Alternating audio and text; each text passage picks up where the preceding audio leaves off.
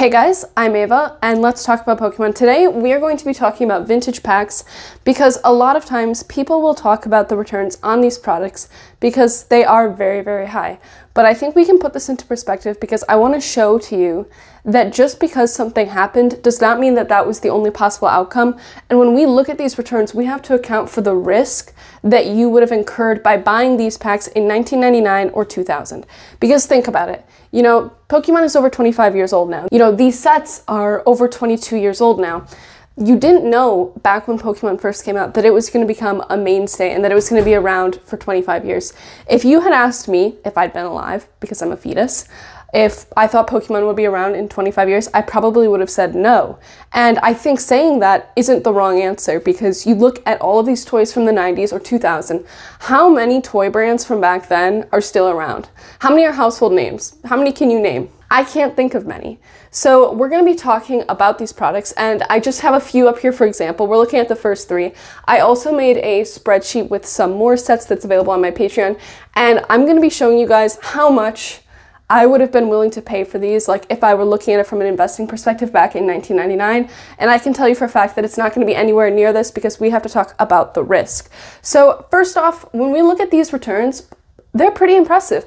$350 by the way, for all of these numbers, we're using an MSRP of $3.99. It might have been a little bit cheaper back in 1999, but it doesn't really matter that much for the purposes of this illustration. And also prices vary depending where you live, so we're just going to use $3.99 for this. And we are also not going to be accounting for tax or inflation in this video, but because we are doing that across all the things we're going to be talking about, it'll be okay, and the logic and thesis of this video will still work out. So $350 for base set. These are all unlimited light packs, by the way, to keep it consistent. We have 185 for jungle, 165 for fossil. These are very, very impressive returns, right? You know, you look at these raw numbers, like Jesus Christ, it's over 8,000%. It's almost 9,000. We have 4,000 as our low end for fossil, and these obviously are all very, very impressive numbers. But this is over the course of over 20 years. So what happens if we annualize this? So do you guys know what these numbers in red are? I don't, so let me just put on my glasses. Okay, these are the annualized return. So this is going to be compounded annually. So this is CAGR, which is our compounded annual growth rate. So you can see for base, it's 21%, and for jungle and fossil, it is both about 18%.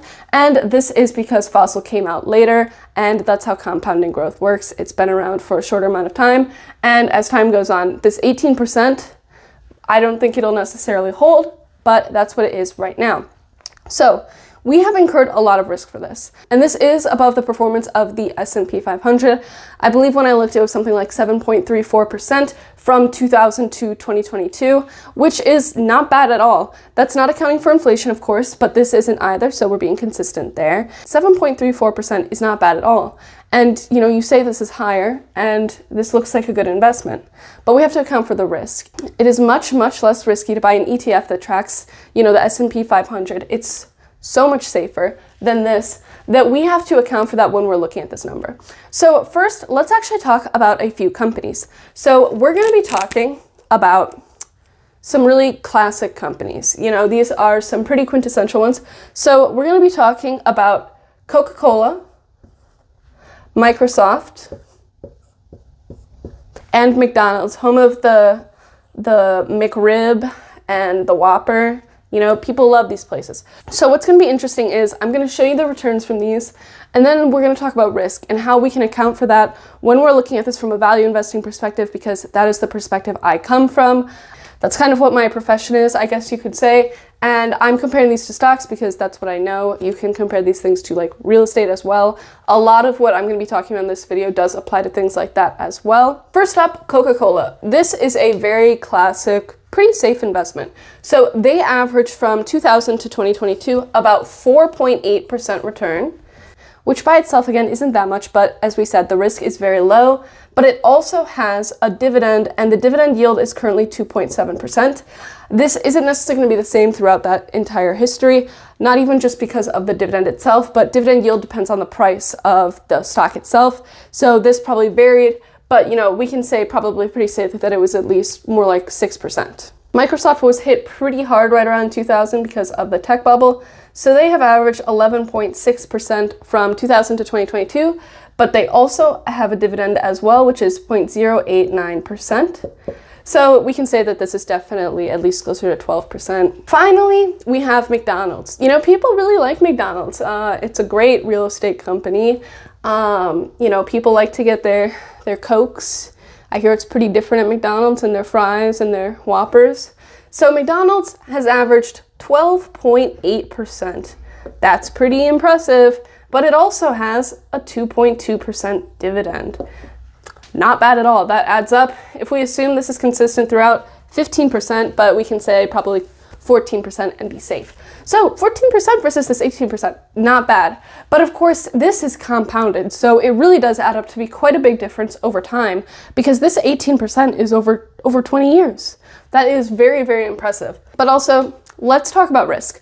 So when we're looking at things from a investing perspective, something we care a lot about is called required rate of return. So this can also be your discount rate. These two things aren't necessarily always the same, but oftentimes they are. So required rate of return is the amount we expect our investment to return for us to be willing to take on the risk associated with that investment. So for something that's riskier, you should naturally have a higher required rate of return because certain things are much lower risk. Consider a treasury bond. That's often considered a risk-free investment or the risk-free rate, which is also used when you're figuring out your required rate of return and in particular your discount rate. It can be very useful for that. But in this video, we're not going to talk too much about that because uh, the method of calculating required rate of return and discount rate through that doesn't necessarily apply. So I'm quickly going to show you what the formula is for required rate of return. It's going to be our principal times 1 plus our required rate of return, so this is going to be a percent, and then raised to the period. So this is going to be like 22 in our case. So our required return on that 399, so that's our principal, is going to be 1 plus whatever we decide our required rate of return is, which we're going to be talking about very soon, raised to the 20th, 22nd power. So you're going to see that our required return is quite high. Now, when we talk about companies like this that are legitimate established companies, the required rate of return is going to be much lower. A typical required rate of return ranges from something like 7 to 12%. This is pretty typical, and the way that you can calculate this uh, most traditionally in value investing, particularly when we're talking about discounting, I'm also going to explain what discounting is. Let me actually give you the worst explanation of discounting possible. I'm not used to explaining these things to people, but to do that, I think we're going to need to put on our thinking caps. I have mine right here, and you can tell I've been thinking extra hard by the stain on it. So discounting is talking about future cash flows. When we're talking about value investing, what your goal is, is to figure out the intrinsic value of your investment, the thing you're looking at. So it could be a company.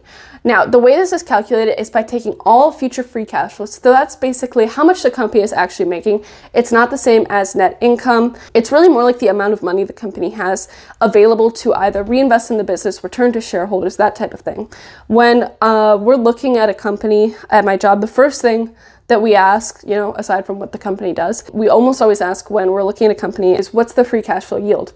So Free cash flow is going to be, you know, those future cash flows. It's how much the company's actually generating. Because if something's not making money, it's not worth money. And in the case of these packs, that can't quite apply because they aren't making money, which is why some people say these are worthless. They have an intrinsic value of zero. And I don't know if I necessarily disagree with that. Uh, it's really hard to say. And, you know, does happiness have value? I don't know, you could argue that it does. But for this purpose, you know, collectibles, things like art, we know they have value. There are things in the world that don't make money and have value. I think this is a well-known fact. So when we discount something, we are going to discount it back to the present value. So today, we live in 1999 or 2000. So our formula for this is going to be free cash flow multiplied by 1 over 1 plus r. So this would really be discount rate, but for our purposes today, they are going to be the same. That means required rate of return and discount rate are going to be the same for today. Not always true, but it can be. And so this is going to be raised to the t power as well. So this is basically the inverse of this. That makes sense, I think. Now, free cash flow, in our case, we don't have free cash flow.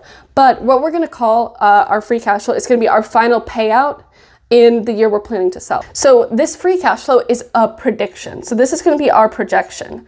Now, we have actual data on what that payout would be today, right? But we didn't know what it was back in 1999, 2000. You'd have to make guesses. And if you told me you thought that this would be $350 in 2022, I would think you're crazy. And I don't think I'd be wrong for thinking that. Uh, just because something worked out doesn't make it the right choice. You know, I think that's something fair to say. You know, there's nothing wrong, obviously, with investing in these things. That's what we're all doing here today. But let's go back to required rate of return because we're going to figure out what the required rate of return should be for these things. 7 to 12% is typical. Things like a tech startup or something like that could be as high as 15%, which is very, very high. It doesn't sound like that much of a difference, but when you compound that over 20 years, it makes a massive difference. Okay, so 15% is quite a high discount rate. Now, for something like Coca Cola, our, our required rate of return is going to be pretty low because it's an established company. We aren't incurring that much risk. So maybe it's closer to 7%. McDonald's is probably a little bit higher, so maybe we're going to say 8%. These are, of course, off the top of my head. If you're figuring out required rate of return and discount rate the most, a typical way to do it is through something like the CAPM method, which is capital asset pricing model. Uh, however, that doesn't really apply to trading cards, and there are also things like WACC, which is weighted average cost of capital. But we don't have those because we're talking about trading cards, and those involve things like debt and whatnot, which really don't apply here. And if I'm being honest, in the several hundred models I've worked on, those have almost never come up. We usually come up with a discount rate depending on how we perceive the risk of the company to be. Because when you're working on these models all day, you don't have that much time necessarily to go through and try and figure these out, especially because we're doing a lot of quick analysis of many companies and then we go in depth on a few that seem worthwhile. So, you know, if you're trying to look at 20 companies or something and get a feel for them, it's just so much faster to do it that way. I know I'm going to get a lot of hate in the comments for saying that, but that's just what my experience has been.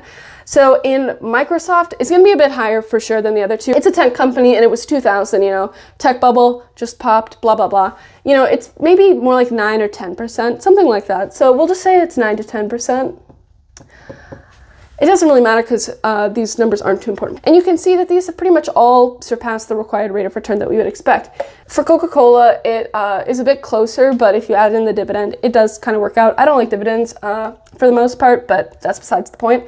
Microsoft definitely did it. McDonald's fucking blew it out of the water because this is easily 14%. So very nice job on McDonald's part.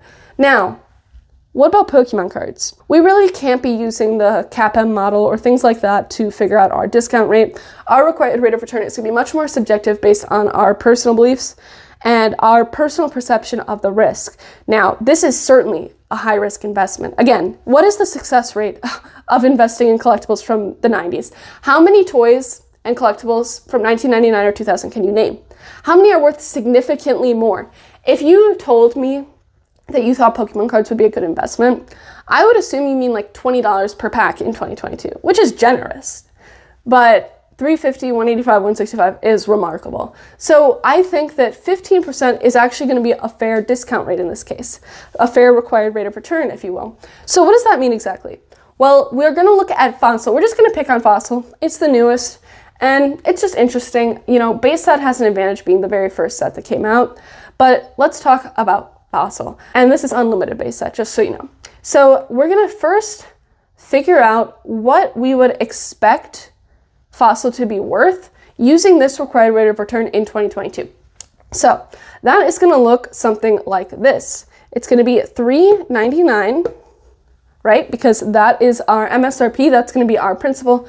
You know, we're not gonna be including tax in this. Let's just assume we live in uh, Texas. I'm pretty sure they don't have sales tax. So I could be wrong on that. Feel free to yell at me if I am. Now, 1 plus our required rate of return, that's going to be 1 plus 0.15. And then the power here, I think, is 22.5. I did this math out on a spreadsheet with the exact dates, so I the number will be correct. This might just be slightly off. It might be like 22.6, 22.4, something like that. But very, uh, very big number that we get out here. Would you like to take a guess? We did meet that because it makes sense because it's 18%, it's about 15%. But it is $92 and 60 cents. Whoa, That's a big number. That's a really freaking big number. Now, if you were gonna buy this, actually looking at it from like a rational perspective, saying, I'm gonna buy these Pokemon cards and hold them till 2022. You know, maybe you say, oh, I'm gonna buy them and sell them in a few years, but we have to talk about the time horizon because this is a very long time horizon. And you also have this money locked up in that for 22 years, by the way. Now, $92.60. Now, I don't believe that most people looking this from a rational, you know, more value investing mindset would have actually told you this is worth $92.60. You know, a lot of people would tell you it's worth zero because again, no free cash flow. But that could be a whole other video in and of itself because I've read a lot of interesting articles talking about how collectibles have no uh, intrinsic value, which I think definitely can be rebutted, especially when we actually look at history.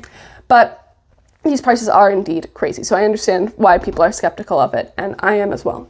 So, very, very high, unreasonably high. I would not have invested in this. If this were my required rate of return, I would not believe this.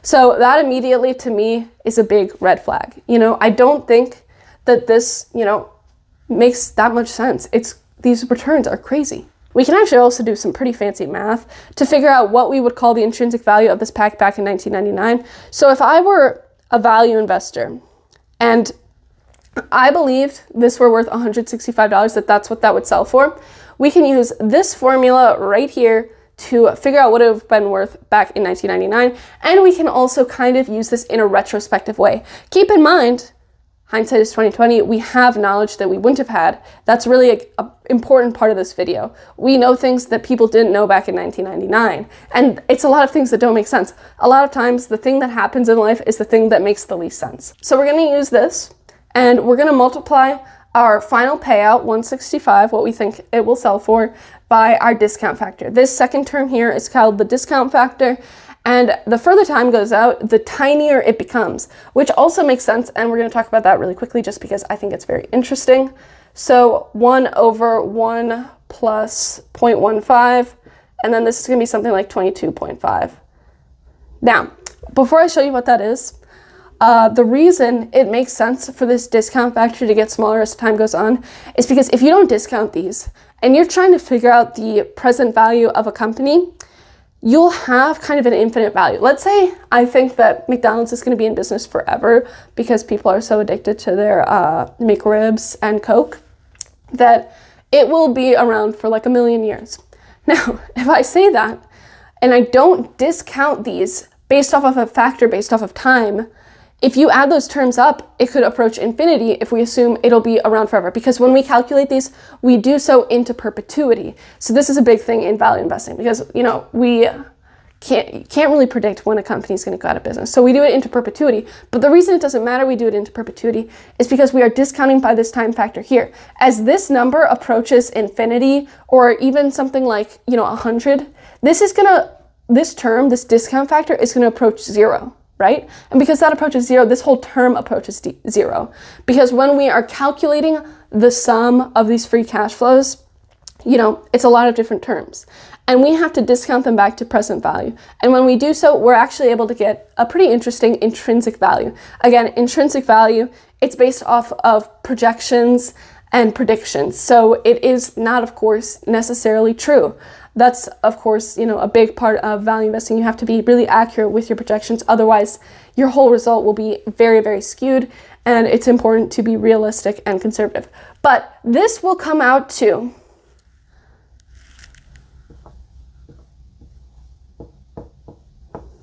for those of you who can't read my bad handwriting that says $7.10 that's not a lot of money. That is not a lot of money at all $7.10 is what this really would have been worth. Assuming somehow I come up with this as what I think it's gonna be worth in 2022, which you're crazy if you did, probably. This is what it's worth back then, accounting for this risk. That is crazy, right? So, you know, this is more than the MSRP. So it's true that they're undervalued. This, again, is a big thing in value investing. We talk about whether things are over, undervalued, or fairly valued. This would be undervalued according to our model but it's not by that much. So we can actually calculate how undervalued this is by a fairly simple, by a fairly quick and simple uh, calculation. So it's just going to be 1 minus our 3.99 divided by our $7.10. And this comes out to approximately 43.8%. So this 43.8% is how much we would say this is undervalued by. Let's actually put this in red for, you know, drama. I'm struggling over here. So we're putting this in red for some, some extra drama. 43.8%. That's not that much. I mean, if we're talking about companies, that's a lot. And it is kind of a lot um, in general, but it's not something that I've never seen before. It's not something I've never seen with actual companies. You can look at distressed businesses, things that were hit hard by some type of macroeconomic situation. Think about 2008, 2000. There are a lot of companies that are hit really hard, even though they are generating the free cash flow to make them a good investment, to make them undervalued. Uh, and those companies have actual free cash flow.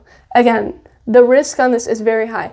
Just adding this 15% isn't enough to account for risk. If it's a like, you know, one in 1,000 thing, you have to be aware of that as well. This is not a substitute for risk. You can't just say this and then not account for risk. That's still true because we have to also think about our scenarios. So there's a best case scenario, a worst case scenario, and then kind of the expected. So this would be called like our bull, bear, and base case scenarios. My bear case on this would be that these are worth like 50 cents to the right person who has nostalgia for it, but they might be like junk, really. My base case, maybe like, I don't know, it could be that they've appreciated somewhat, or they're just stuck at MSRP. Maybe there's inflation, so maybe they're worth like five to ten dollars. That's gonna be our bear. And then our bull would be like what, 20 bucks? That seems pretty fair to me. That seems pretty generous. So $20 is our bull case scenario. That's pretty different than what we've actually seen. Now, the thing about this that's interesting is that we're using this in a retrospective way. And I'm using this in a retrospective way because it's very hard to kind of actually quantify you know, these returns when we're talking about risk. I don't really think I've seen anyone do it, which is also why this methodology is pretty rough. It's something I'm kind of working on and trying to figure out just by myself because I haven't seen anyone else do this. Not to flex, but I am a genius, thank you. So the thing is, we can use this going forward too. You know, these are normally used as projections. We're using it retrospectively because this is the best framework that I've come up with uh, to kind of analyze these and put into perspective these returns. But the cool thing is using these to project forward because this information is very interesting, but it's not useful necessarily because we can't go back to 1999. We can only live in the present because we're living in this future, right? You know, we're living when the future free cash flow would be. But we do live in 2022 and there are new Pokemon products coming out all the time. And of course, you could apply this to the prices these are currently at, but that's not the purposes of this video. So we can apply this going forward, which is really cool. And maybe our discount rate isn't 15% anymore. Maybe it's 12%. You know, very it's a high end of risk, but it's a bit more established. Pokemon's been around for 25 years. You know, it's got a global presence. And so maybe we could say something like 12%. That gives us you know, a lower required rate of return. We don't have to hit this 18%. And again, by the way, 18% minus 15%, that's like a 3% difference. Obviously, this is compounded and that's not precise, but this is more than that. McDonald's, technically, it outperformed the required rate of return more than Pokemon did, assuming that these uh, are fair required rate of returns. Again, they're off the top of my head. But when we apply this going forward, it's going to be really interesting because we can apply this to pretty much any Pokemon product, a single, a set. You know, we can say that singles have a higher required rate of return than sealed product because they have higher risk, and that just makes sense, right? I think that's really cool. And it's also going to help show why an important part of when we're thinking about what we're going to invest or speculate in with Pokemon is considering that the price we're actually paying. When we're looking at companies for my job, you know, we're doing value investing. There are so many great companies that are just overvalued, you know, because the market knows they're great. But uh, the way that value investors can outperform is when they find things that people aren't appreciating. If we can find something that's undervalued, that's how we outperform. That's how we gain that extra couple percent, and that's how we maintain a margin of safety. You know, it's very difficult to do that in Pokemon, but if you are responsible and pay attention to the prices you're actually paying and keep your expectations in line, you know, when I say I believe in modern sealed product, I'm not talking about 100% annual returns, you know? I'm talking, you know, closer to this 10, maybe 15% return. So what I'm kind of getting at is things like Evolving Skies, you know? I hate to pick on it, but I really don't hate to pick on it. It's so expensive. You're not looking at it from a value investing perspective. You're looking at it from an emotional perspective a lot of the time. The people who are buying this, and I don't think that's the right way to go about it. If we're trying to invest, we have to look at things logically. Paying half the price for Fusion Strike is, in my eyes, worth it because the risk is so much lower. Even if, in the long run, Evolving Skies does potentially outperform, there's like no margin of safety right there. Basically, none. And Fusion Strike, you're buying below MSRP. The most important thing in investing is not to maximize your upside, it's to minimize your downside. This, I think, just goes to show that, you know, you can get a really good upside, but there's also the downside potential, right? This is what happened. But if we looked at things like Beanie Babies, it would be a totally different story. I don't know, Furbies, I don't think those are popular anymore. Trolls, maybe, I don't know, but probably not that good. Uh, so hopefully this was interesting. Again, you know, I've never talked about this before, so my explanations are terrible, and you can rake me in the comments. Please comment below anything, uh, you know, for the algorithm. Tell me what your favorite product from McDonald's is. Is it the Whopper, the McRib? Go for it. You know, go ham in the comments. And also, if you guys enjoy this type of content, I do think it's pretty original if I'm being honest. And here comes the shameless self promo, which is that I have a Patreon. Feel free to click the link in the pinned comment and join me. I have made a longer post about this where I have written out my thoughts and maybe they're mildly more cogent than this. And I've also included a few more packs and I'm thinking about expanding that spreadsheet. So if any of my patrons would like any additional sets included, I can do that for them as well. And if you want to support me in a way that is entirely free to you, I also have some eBay and Amazon affiliate links in that same pinned comment. If you probably just click the show more button or whatever, they'll probably be there. Uh, thank you guys so much for watching, especially to my patrons, and in particular, the squander of my life, and of course, Mythic Timmy. Thank you guys so much for watching. And of course, this is not financial advice. Why would you listen to a girl with a stained hat rambling on YouTube? I fucking wouldn't. Ignore this whole video. I will see you guys next time.